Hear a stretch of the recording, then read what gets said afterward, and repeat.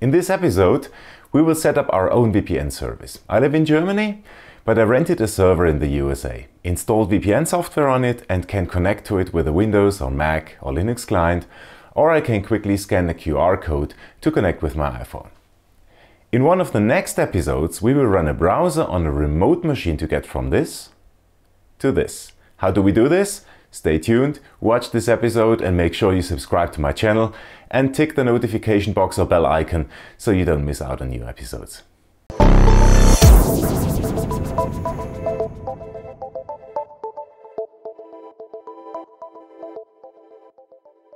My family was urging me to have Netflix.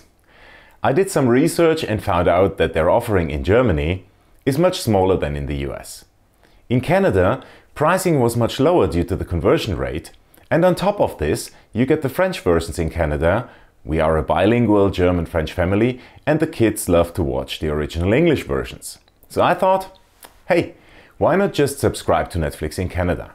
You may already have guessed what happened. Apparently, I was not the first person on earth having had that idea. Netflix just kept re redirecting me to the German page. If only I would have thought of using a VPN at that time. I could have changed my geolocation just by connecting to a Canadian VPN and hence Netflix would have thought that I shop from Canada. Of course, in hindsight, thinking it over, I would have had to give a wrong address, which probably would not have been okay. Furthermore, I found the various VPN services that you can buy on the internet to be a bit on the pricey side. They all had free 30-day trials or so, of course, but then they quickly went up to 7 or 12 dollars per month. And I have heard that the VPN services are often blocked from streaming services. Anyhow, these days I thought, hey, why not run my very own VPN service? All I need is a cheap virtual server or vServer or VPS, the terminology varies between the providers, and a VPN software running on it. So I searched the internet and I found that there are quite cheap offerings these days. For a VPN server, we do not really need a powerful machine. One CPU, 512 megabytes of RAM and 5 to 10 gigabits of disk are plenty. The one I found here from IONOS has a couple of interesting attributes. I need to specify at this point that I'm neither affiliated with them in any way, nor do they pay me in any way. So my dear friends from IONOS, if you're watching, I'm doing free publicity for you here. You might consider adding me to your Christmas card list. Guys, again, you may freely choose any provider. There are just a couple of things that made this offering attractive for me. First, they are using KVM as virtualization technology. That means I can have a KVM web console if ever I locked myself out and, most importantly for me, I could run Docker on it. Second, they are German and I can book the offering from Germany without having to spoof an identity or anything dodgy like that. So I expect this whole thing to run reliably and smoothly like a German diesel engine, right? Third, as far as I can tell, there are no hidden setup costs such as activation etc. if I engage for 12 months. At 1 euro per month, this is a manageable risk. Even if I barked up the wrong tree here, it would not throw me into poverty. Fourth, I can upload my own images, even though not for free, and can select from a variety of pre-configured Linuxes. We will use Ubuntu 18 for this exercise. On the downside, they do not seem to have more recent images, such as Ubuntu 20, which would come in handy for our VPN installation as WireGuard can be more easily installed on the newer Ubuntu versions. With version 18 we will have to add the installation sources from WireGuard. Alternatively, we could just upgrade Ubuntu once we have access to the server. It also seems that once you have selected a distribution, then you cannot easily switch to another one. Like CentOS for example, you need to make your choice and stick to it. Another not so good experience with them was the time they needed to send me the login details. It took them roughly three days. But I can't compare to others here. Another limitation is that I will have to pay for extras such as backup, but I'm not planning to store any data on this machine and the setup can be done again very easily at any time. And I fully understand that I do probably not get the first class all-inclusive exec club for a dollar. Generally speaking, there are some selection criteria which you might consider before choosing a provider. The virtualization technology is most certainly an important factor, especially if you want to run Docker. Look at the pricing. Is it a flat, fixed price or is it time or load based charges? Volume or bandwidth limitations would be a downer as well. But enough talking, let's get these things started, let's get everything installed. Like always, I have prepared a couple of things for you, which you may download from my GitHub repository. The link is, like always, in the description of this video. There is an installation script called wireguard.sh that does all the necessary things for you in order to install WireGuard on the virtual server. A second script called addpeer.sh can be used to add an additional client or peer such as a laptop running Windows or an iPhone. I have designed the scripts in a way that you can either transfer them over to the server as a file and call them from the command line, or alternatively, you could just copy and paste the content directly into the terminal window. I could either connect to the server using the KVM web console, but I personally find working with it a bit awkward. I prefer using Secure Shell, SSH. If you are a Windows user, you may use a software called PuTTY to do this. Let me quickly download this from the website and install it. In order to transfer the files on the server, I use WinSCP. Alternatively, you could use FileZilla. For example, if you are on a Mac. Same procedure, searching for it on the web quickly and installing it. I have already put in the parameters for my server into WinSCP and can now connect to it with one click. I also have the scripts available here, so all I need to do is drag and drop them over to my server. That's all. The files are now on the server in the USA. I just need to go to the properties of the scripts and check the executable flag so that I can run them on the Linux server. Next, I connect to the server using PuTTY. Under Windows 10 there is now built-in SSH functionality, so you could just run SSH from the command line as well. I have put the scripts directly in the home directory of the root user, so I can execute them from here. First the installation script. It takes roughly 30 seconds to run. The script will install all necessary software, it will set up the interface and the necessary firewall rules for me. Now that the WireGuard software is installed, I want to add a client to it. From the WireGuard website, I can download the software for Windows. Insta installation is pretty straightforward. The client for the iPhone can be found in the App Store. Now let me log into my server with PuTTY and run the add peer script, which will add a new peer and show the configuration data. You might need to tweak the font and window size settings for PuTTY a little bit so that the QR code shows up correctly.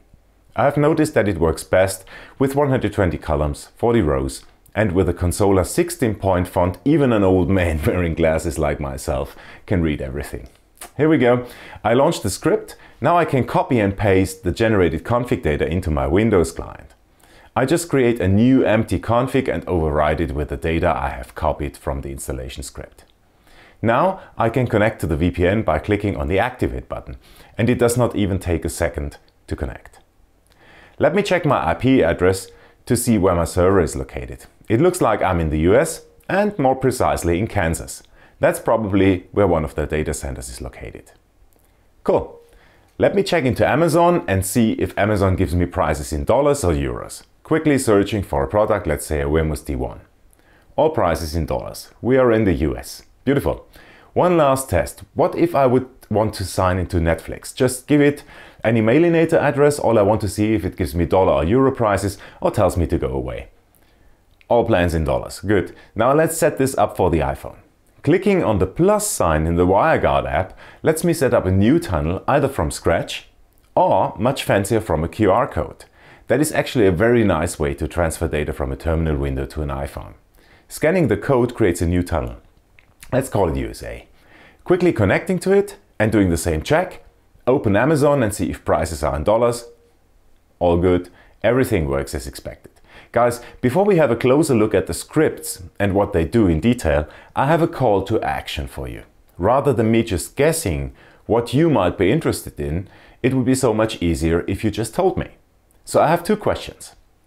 You didn't think you get this for free, did you? Just kidding. Please let me know in the comments of this video if you are using a VPN or not, or if you are planning to do so. Furthermore, I would love to understand what your main concern is why you would consider using a VPN.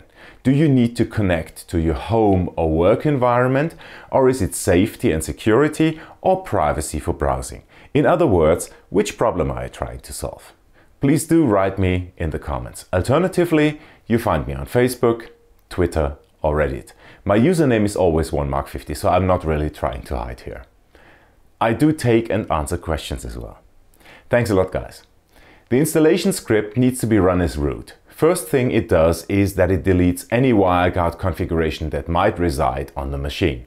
Second, it installs the necessary repositories and software packages for WireGuard.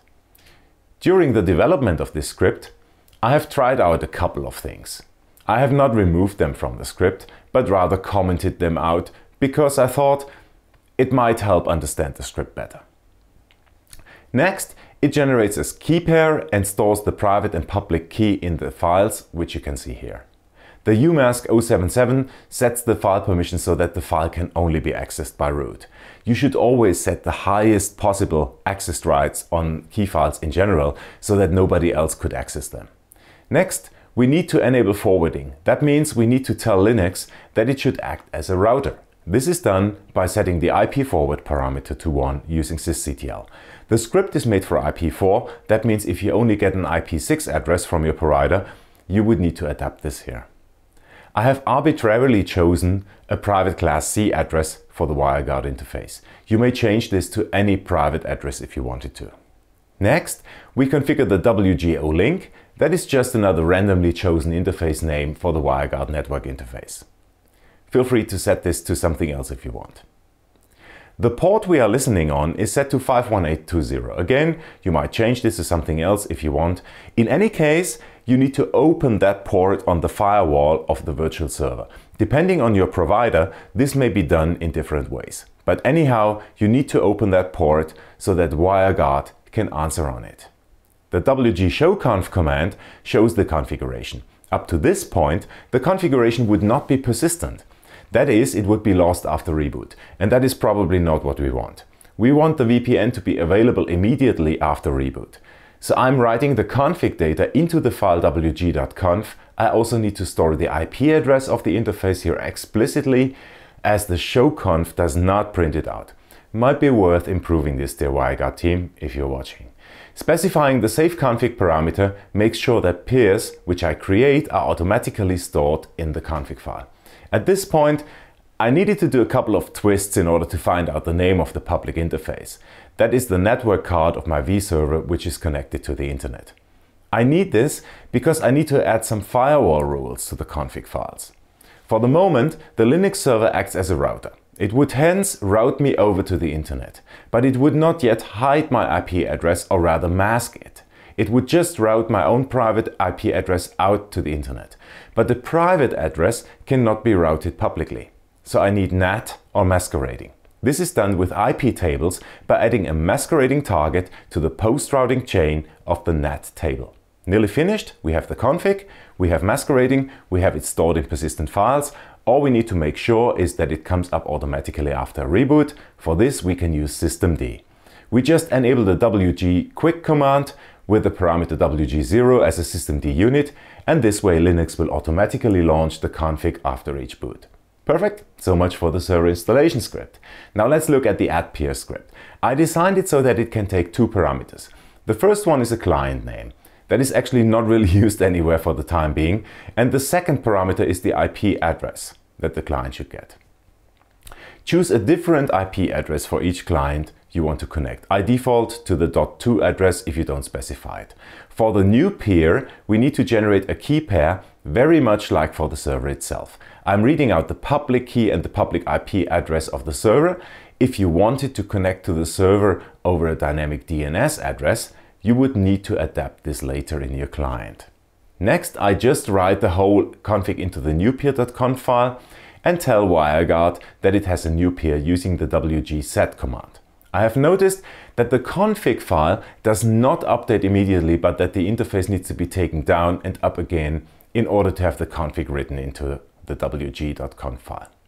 Last but not least, I can clean out the variables so that they are not stored on the machine and print out the config file as a QR code using QR encode and below as a text file. There are still a couple of settings that we need to change on this server, such as changing username and password authentication with SSH to public and private key. But let's do this in the next episode. In one of the next episodes, we will use this virtual server to launch a browser remotely. That means we will surf the internet with a browser that is not running on our local PC, but rather in the cloud. The goal is to increase privacy for browsing and also security in the sense that we generate some airspace between the browser and our client. I'm sure this is going to be quite interesting to say at least, so please make sure that you subscribe to my channel and also click the little bell icon and get notified, because otherwise you will miss that episode. No pressure. Guys, thanks for watching. Stay safe, stay healthy. Bye for now.